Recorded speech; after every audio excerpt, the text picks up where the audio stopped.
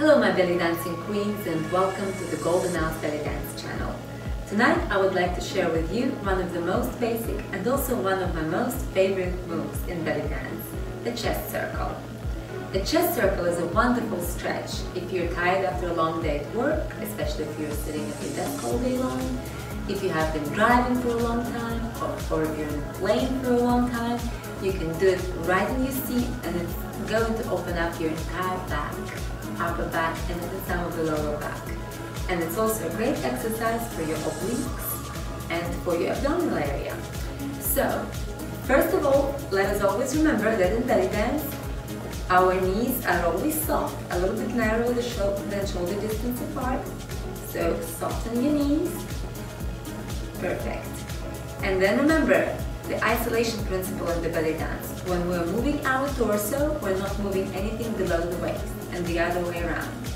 Since this exercise is the torso exercise for the upper body, just imagine that you don't have anything below your waist, as if you are buried in the sand and you cannot move. So we're only moving uh, everything just above our waist, not below, not below our waist. So let's get ready. Knees soft, Perfect. And then chest up, shoulders roll to the back, and chin up. This is our basic belly dance posture. So now let's imagine hmm, that you have, that you are attached by a thread to the ceiling. And the, and the thread goes all the way to the ceiling and it's attached on the other end to your solar plexus, right here. The chest circle consists of two different moves, of chest lifts and of chest slides. We're going to practice a chest lift first.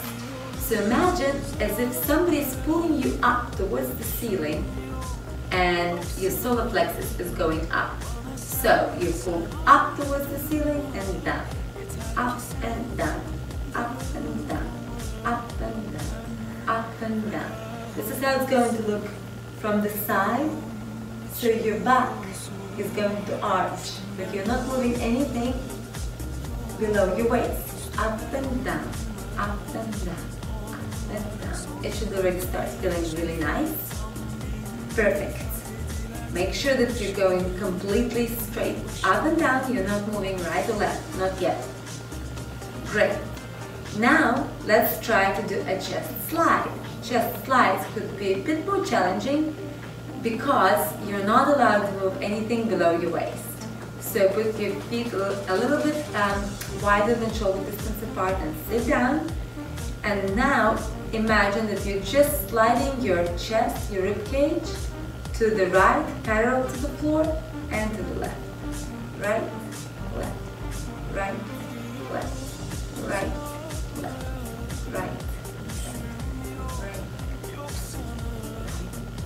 Make sure that you're not going diagonally up or down.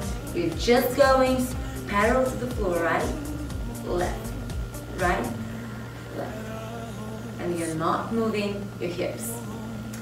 And now it's time to combine the chest lift and the chest slide moves into a chest circle. So we're gonna start with the chest lift up, then slide to the right, chest down, slide to the left and up again. Right, down, left, up, right, down, left, up, right, down, left, up, right, down, left.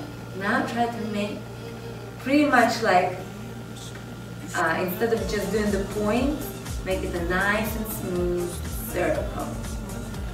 Do you feel your back opening up? Stress is melting from your body. Relax. Let your arms close, your hands close. Down. Relax. Perfect.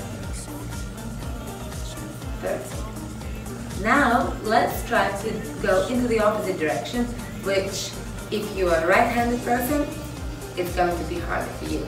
And then the other way around, if you're a left-handed person, this one should have been harder for you already. So let's start going, uh, first we're going left. So you're going, I'm sorry, you're going, going to the chest lift, going up. Instead of going to the right, you're going to the left.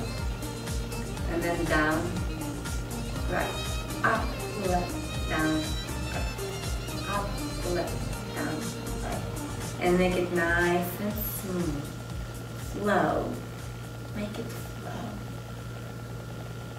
Slow. You will notice that the area is opening up in your abdominals and in your rib cage. More area for you to breathe that you never even knew existed. And you will feel all the muscles in your back stretch.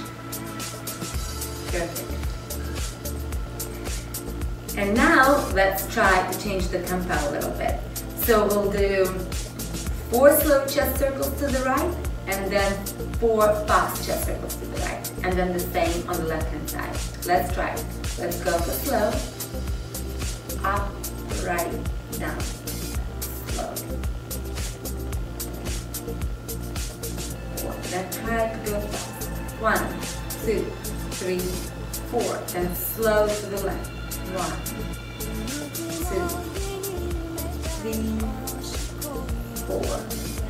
Fast to the left. One, two, three, four. Again, slow to the right. One, two, three, four. Fast. One, two, three, four. And again, slow to the left. One, two, three, four. And go fast. One, two, three, four. And last but not least, let's try to walk with a chest circle, which is always fun. Now, how do you actually do uh, traveling steps and walking or performing different moves in belly dance? I call it belly dance zombie walk.